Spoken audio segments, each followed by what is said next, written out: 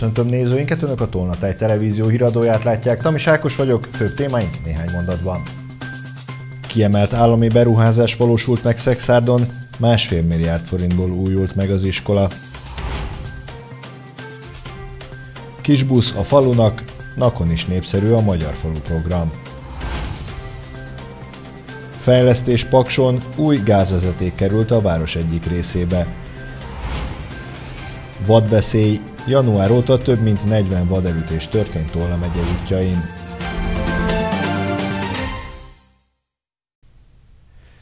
Másfél milliárd forintból újult meg a Tolna megyei szakképzési centrum Hunyadi Mátyás vendéglátó és turisztikai technikum és szakképzőiskolája az Innovációs és Technológiai Minisztérium finanszírozásából. A kiemelt állami beruházás elősegíti, hogy megfelelő körülmények között képezhessék a térség számára is fontos szakembereket. Sanda Tamás az ITM parlamenti és stratégiai államtitkára az eseményen úgy fogalmazott, a cél az, hogy a fiatalok a jövő nyertesévé váljanak. Egy kisebb fajta csodának lehetünk szemtanúi, kezdte ünnepi beszédét Dömötör Csaba, a Tolna megyei szakképzési centrum kancellárja, a Hunyadi Mátyás vendéglátó és turisztikai technikum és szakképzőiskola felújított épületének átadóján. Ez egy ilyen nagyon felemelő érzés, ez egy ilyen nagyon-nagyon jó érzés, nem mindig adatik meg, vagy ritkán adatik meg, inkább így mondom egy ember életébe az, hogy, hogy, hogy részese lehet egy picit a jövőnek, és nekem ez nagyon fontos, én ebbe hiszek pedagógusként, emberként, és most úgy gondolom, ez a pillanat erről szól. A sokak számára csak VIP-nek ismert iskolában 2016. októberében csőtörés történt, ami olyan károkat okozott az épület szerkezetében, hogy sokáig úgy tűnt menthetetlen a létesítmény. Szó esett a közel 70 éves épület lebontásáról is, de végül az újjáépítés mellett döntöttek. Horváth István Tolna megye egyes számú választókerületének országgyűlési képviselője közbenjárásával sikerült elérni azt, hogy az Innovációs és Technológiai Minisztérium támogassa a projektet 1,5 milliárd forinttal, sőt, kiemelt állami beruházásként kezelje az iskola újjáépítését. A munkálatok 2020-ban indultak el. Maga az intézménynek a létje az a számunkra stratégiai kérdés. Itt nem csak falakról van szó, meg terekről, hanem arról a szakmai oktatásról, ami biztosítja nem csak Szexár számára, hanem a régió számára felkészült szakácsokat, felkészült vendéglátóipari szakembereket, cukrászokat, idegenvezetőket, tehát minden, ami a turizmushoz kapcsolódik. Sanda Tamás az Innovációs és Technológiai Minisztérium parlamenti és stratégiai államtitkára az átadó ünnepségen elmondta, a felújítás célja, hogy a szakképzés visszakapja régi dicsőfényét, és a fiatalok a jövő nyerteseivé váljanak. Hozzátette, ha visszatekintünk az elmúlt évekre, tisztán lehet látni, hogy egy szakma kitanulása stabil jövedelmet és kiszámítható jövőt biztosít. Ezért erősítjük meg a szakképzést, ezért fejlesztjük azokat az infrastruktúrális elemeket, iskolákat, tornatermeket, amelyek a fiatalok számára e, fontosak. Ezért korszerűsítjük az eszközparkot, ezért csinálunk digitális fejlesztéseket, és ezért alakítottuk és fejlesztettük a szakképzés teljes rendszerét. A munkák során 3300 négyzetméter terület újult meg, 25 tanterem és három a kor követelményeinek megfelelő tanműhely került kialakításra. Itt azonban nem áll meg a vendéglátóiskola fejlesztése, a jövőben egy tornatermet is kap majd az intézmény. 2906 új koronavírus megbetegedést igazoltak idehaza kedden, ezzel a járvány kezdete óta összesen 1.849.217 főre nőtt a beazonosított fertőzöttek száma. Elhunyt 40, többségében idős krónikus beteg, így az áldozatok száma 45.430 főre emelkedett. Tolna megyében 52 új fertőzöttet regisztráltak kedden. Ezzel a járvány kezdet óta 39.174-re nőtt a megbetegedések száma az országnak ezen a részén.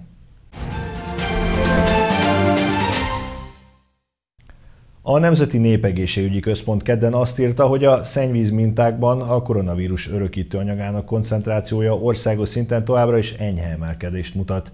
A megyeszékhelyek több mint felében, többek között Pécset is emelkedő tendencia figyelhető meg.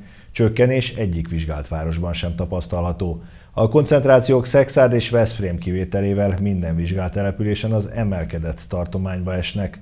Az NNK arra kérte azokat, akik még nem adatták be a koronavírus elleni védőoltást, hogy tegyék meg mielőbb, akiknek pedig a második oltását követően eltelt több mint négy hónap, ilyenek a megerősítő oltás lehetőségével. A Magyar Falu program Tanya és Falugonnaki buszok beszerzésére című pályázatának keretében számos Tolna megyei település önkormányzata gazdagodott új kisbusszal. Azok a községek, melyek vállalták, hogy a használt gépjárművüket továbbadják, pluszpontot kaptak az elbírálás során. Itt települése is, ahol már át is adták az új kárpátaljai tulajdonosnak a használt kisbuszokat. A Magyar Falu programban az egyik legnépszerűbb pályázati elem a kisbuszok beszerzésére kiírt volt.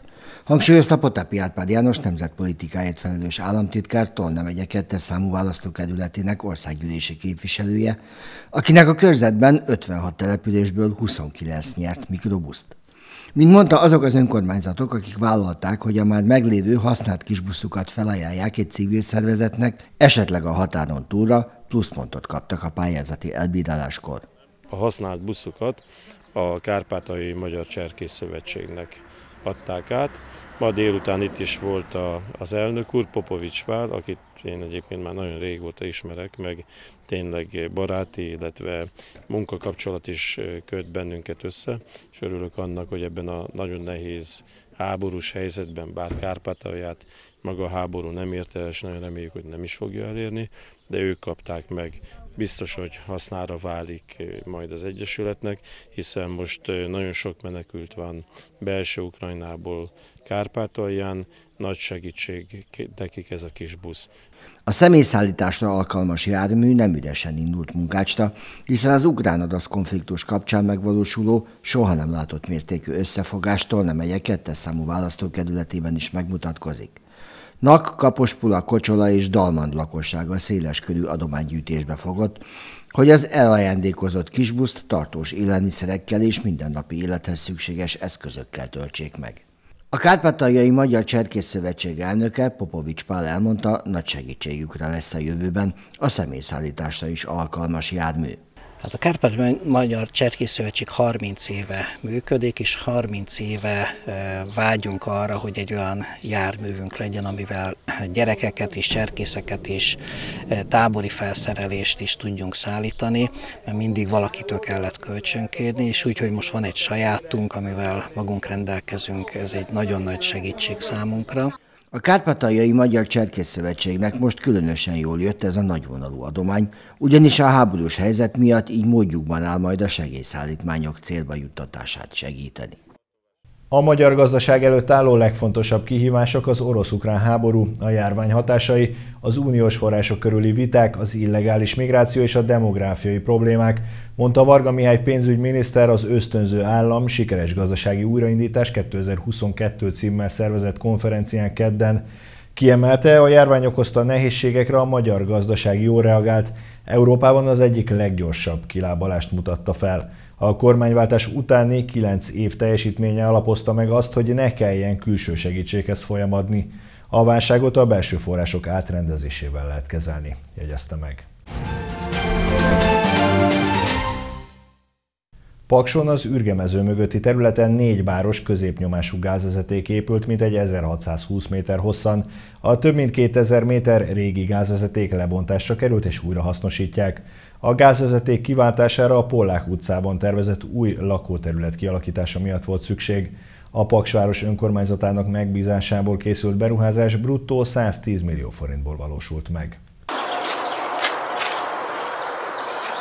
Ezek a földből kibontott gázvezetékek, a több mint 2000 méter hosszan kibontott régi csövek hamarosan elszállításra kerülnek egy újrahasznosító üzembe. Mögötte pedig az új gáznyomás szabályozó állomás áll. Paksváros önkormányzata közbeszerzési eljárás keretében négy báros középnyomású gázvezeték kiváltását végeztette el a lakótelepen.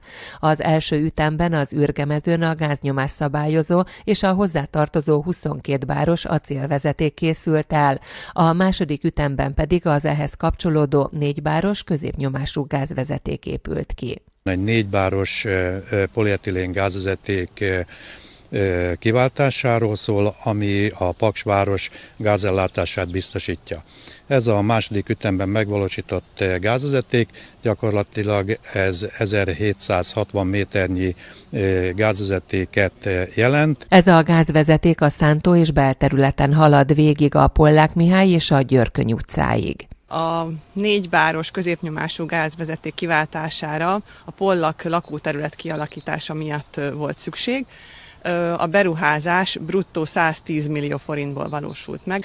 A gázvezeték kivételezése tavaly december elején kezdődött meg. A beruházás keretében közel 1620 méter gázvezeték került kiépítésre Pakson. Óvatos közlekedésre figyelmeztet a Tolna megyei rendőrfőkapitányság. A megye útjain ugyanis elszaporodtak a vadgázolások az elmúlt időszakban. Az egyenruhások elmondása szerint a legjobb módszer a figyelem, a fokozott elővigyázatosság és a sebesség csökkentése.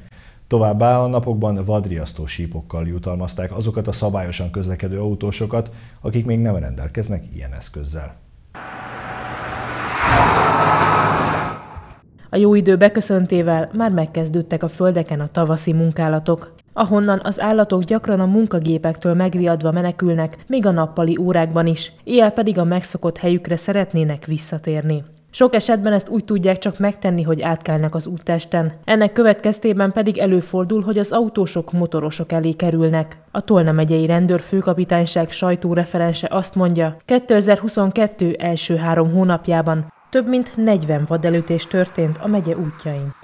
Ha azt tapasztaljuk, hogy elénk kerül vezetés közben egy vad, akkor óvatos fékezéssel próbáljuk meg lelassítani az autót. Én mindenkinek javaslom, hogy a túl hirtelen korrigálásokat, tehát jobbra-balra rántom kormányt, ezeket próbálják meg elkerülni, mert, mert sok esetben előfordul az, hogy a vad ugyan megúszva élve, viszont az autós az bele megy az árokba. Az óvatos közlekedés mellett a dudálás már nagyobb segítséget jelenthet, hiszen az állatok többsége megijed az erős hang hallatán, és menekülni próbál a közeledő zajforrás elől. Továbbá hasznos eszköz lehet a vadriasztó síp is. Azonban, ha már bekövetkezett a baleset, azonnal értesíteni kell a rendőrséget. A rendőrök már tudni fogják, hogy azon a területen melyik vadásztársaság gazdálkodik, és annak a képviselőjét a helyszínre fogják küldeni, aki a vad elszállításáról gondoskodik. Ezt ugye azért is meg kell tenni, mert ha az autós esetleg úgy dönt, hogy az elütött vadat ő maga viszi el onnan a helyszínről, ezzel a lopás bűncselekményt követi el. A vadelütések számának csökkentése érdekében a Tolna megyei rendőrfőkapitányság munkatársai a Tolna megyei baleset megelőzési bizottság támogatásával az elmúlt napokban vadriasztó sípokkal jutalmazták azokat a szabályosan közlekedő autósokat, akik még nem rendelkeznek ilyen eszközzel. Húsvéthoz közeledve egyre többen döntenek úgy, hogy már hetekkel korábban megvásárolják az ünnepi asztalra szánt sonkát. A hagyományokhoz híven a legtöbben főtt tojással, friss zöldségekkel és francia salátával is készülnek a család számára. Sokan döntenek úgy, hogy szeretnék elkerülni az ünnepek előtti sorbanállást, ezért akár hetekkel előtte megvásárolják a húsvétra szánt húskészítményeket. Érlelt, pácolt vagy füstölt csonka is kerülhet az asztalra, melyre megkiegészítő eleme a kaszinótojásnak és a francia salátának. A hagyományos, magyar ízeket kedvelők számára elengedhetetlen, hogy a főcsülök vagy a pörkölt ne legyen az ünnepi fogás része. Azonban mindenkinek van rá egy saját praktikája, receptje, hogyan készítse el ezen ételeket. Főtt tojás, sütök kalácsot, snidling mártás a saját receptem, és valószínű lesz egy fácálleves, meg valami pörkölt. Sokan családjukkal együtt töltik az ünnepeket, így csoki nyúllal vagy piros tojással is készülnek a gyerekek, unokák számára. Sonka az első, az, izé, a piros tojás, aztán valami jó pörkölt, marha pörkölt inkább. Legtöbben ragaszkodnak a bevált dolgokhoz, így évről évre visszajárnak, hogy ízben és állatban is a már jól megszokott sonka legyen az ünnepi menü része. Van, aki a zsírosabbat szereti, van, aki a soványabbat. Vannak érettebb sonkáink, amik éves vagy év fölött is van már, de van olyan, ami tipikus a húsvétre készítjük őket, darabolt sonkák. Bőséges választék található a sonkák terén, így biztosan mindenki megtalálja a számára kedvezőt. Regionális híreink következnek. Nem ítélhetik el Dezső bácsit, kegyelmet kapott a pécsi tanár. Jó irányba halad a honvédelmi program, lakossági tájékoztatót tartott a honvédelmi miniszter Pécsen. Eszéje a tapasztalatok, javában zajlik az adóbevallási szezon.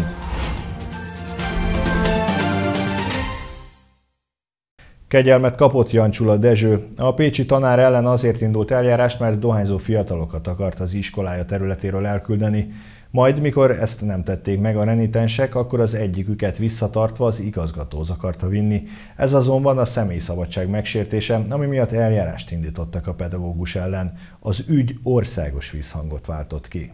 A mai nappal megkaptuk a hírt, hogy a köztársasági elnök úr aláírta az eljárási kegyelmi kérelmemet, amit beadtunk, hogy a bírósági ügyön kívül ezen az úton is kezelődik ez a kérdés. Tehát erről a tényről kaptunk ma értesítést. Ezt a bejelentést tette Jancsula Dezső tanár kedden délután.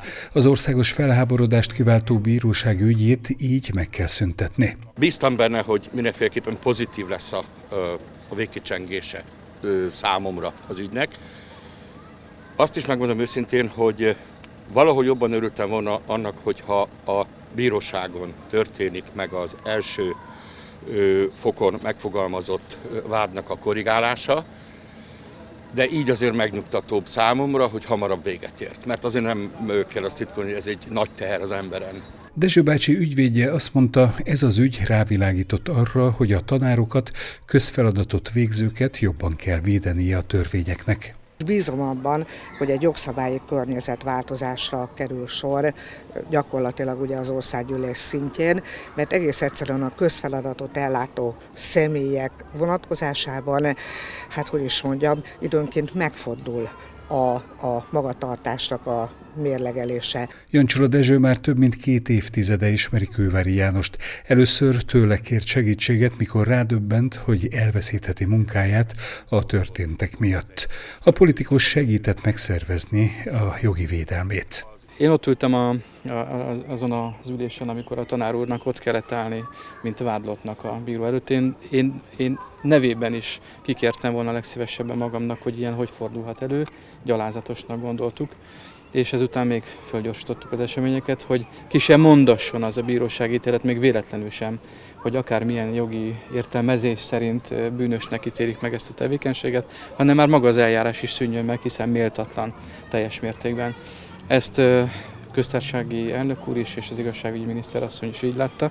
Ezért kegyelmet adtak, vagyis meg kell szüntetni az eljárást a tanár ellen. Mint ismert 2020. szeptemberében fiatalok dohányoztak a Pécsi Nevelési Központnál az iskolához tartozó területen. Jancsula Dezső volt az, aki felszólította a fiúkat, hogy ezt ne tegyék egy oktatási intézmény udvarán a kisgyerekek előtt. A renitens fiatalok azonban szidalmazni kezdték a tanárt fenyegették is.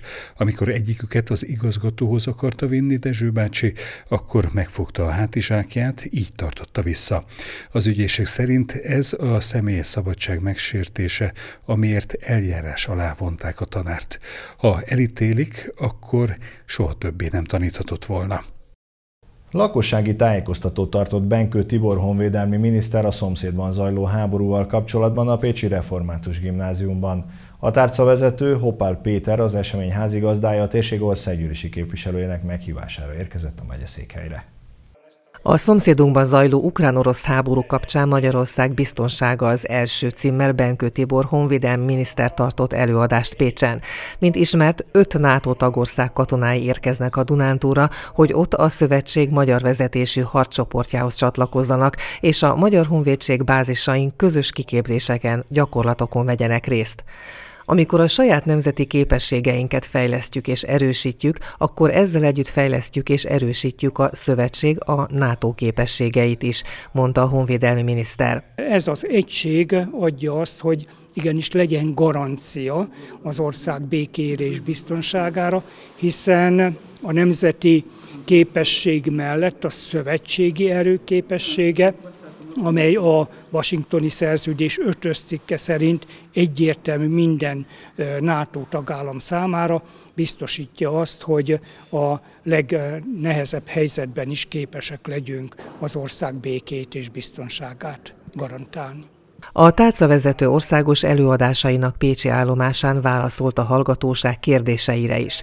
A honvédelmi miniszter Hoppál Péter a térség országgyűlési képviselőinek meghívására érkezett a megyeszékhelyre.